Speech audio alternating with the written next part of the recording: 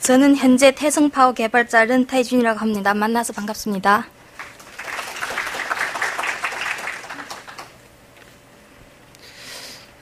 受 Brainbox 公司的邀请，简单的发表一下关于电源这个 OCP 的部分想法。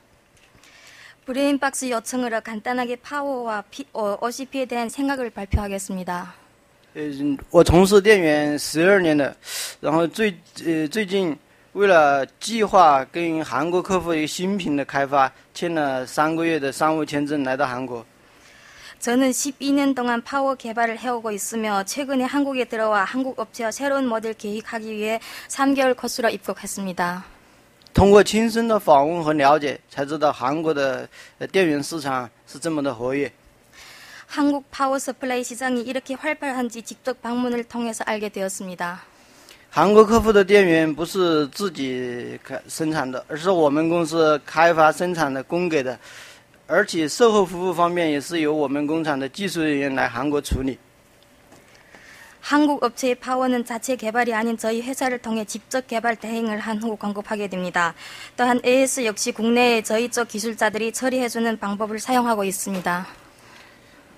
二零一一年开始，针对新出厂的这个显卡，目前我们部分产品啊增加了十二伏输出和供给的。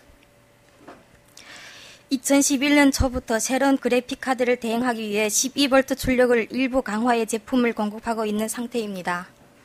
今后我们供给的电源啊效率会逐步的升高，十二伏的待载能力会逐步加强。 앞으로 파워 서플라이 효율을 높이고 12V 강화한 제품을 공급할 예정입니다. 有一部分电源已经开发完毕，在后续的开发，在后续新品的开发中，正与各客户的市场负责人在协商中。 일부 제품은 개발을 완료한 상태이고 또 일부 제품은 계속해서 마케팅 담당자와 조율 중에 있습니다. 韩国客户的电源并不是单纯的销售，而是我们公司开发生产。今年会有 呃更新的产品给大家见面。 한국 업체의 파워는 단순히 제가 제품을 가져다 판매하는 것이 아니라 직접 개발을 해서 만든 제품임을 알아주셨으면 합니다. 좀 더 좋은 제품은 올해 안에 만나보실 수 있을 겁니다. 目前我们厂的电源 OCP 测试是三点三伏、五伏给最小的负载，然后挂上十二伏测试。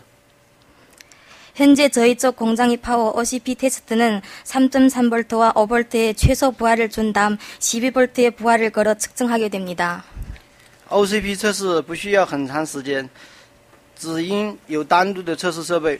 我来这里之前啊，看过 Burning Box 公司 OCP 测试的视频，没有什么特别的问题。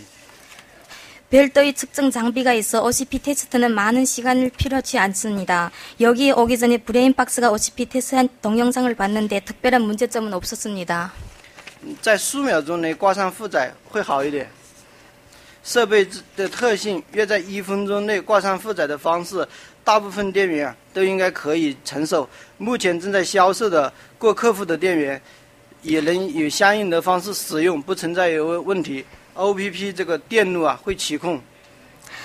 초당 빠른 부하를 걸어주면 좋지만 장비 특성이 약 어, 특성으로 약 1분 이내 부하를 걸어주는 방법에는 웬만한 파워 서플라이들은 견딜 수 있을, 거라, 있을 것이라 예상됩니다.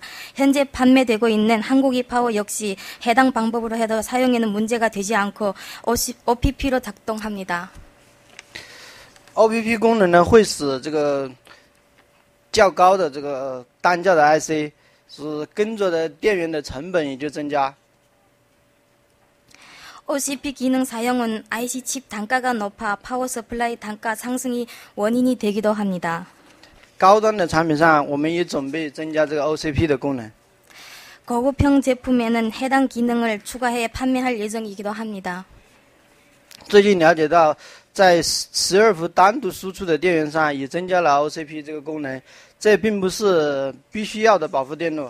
在韩国的市场上，一般电源会有这个功能啊，就认为有这个附加功能就是好的产品。 또한 최근에는 12V 싱글 출력 파워 서플라이도 OCP 기능을 추가하는 것으로 알고 있습니다. 꼭 필요한 보호 회로는 아니지만 한국 시장에서는 일반 유저들이 있으면 좋다고 판단하는 부가 기능이라고 보시면 됩니다. 其实这不是电源设计时最基本的保护电路，是可以选择性的附加功能。 파워를 제작할 때 기본적으로 들어가는 보호 회로는 아니고 옵션으로 선택할 수 있는 성능 부분입니다.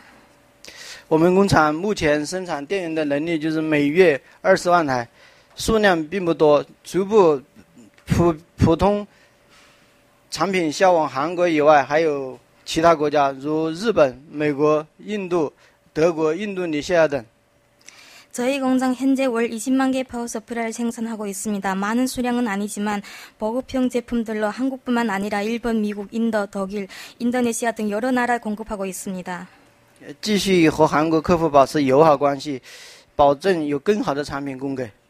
지속적으로 한국 업체와의 좋은 관계를 유지하면서 보다 좋은 제품을 공급할 것을 약속드립니다. 第一次知道有这么多人关心电源，韩国的 PC 电源市场很大，大的可以不能不重视的程度。 많은 분들이 이렇게 파워 서플라이에 대해 관심이 있는지 처음 알았, 알았습니다. 한국의 PC 시장은 무시 못할 정도로 규모가 커져 있습니다. 谢谢大家。 감사합니다.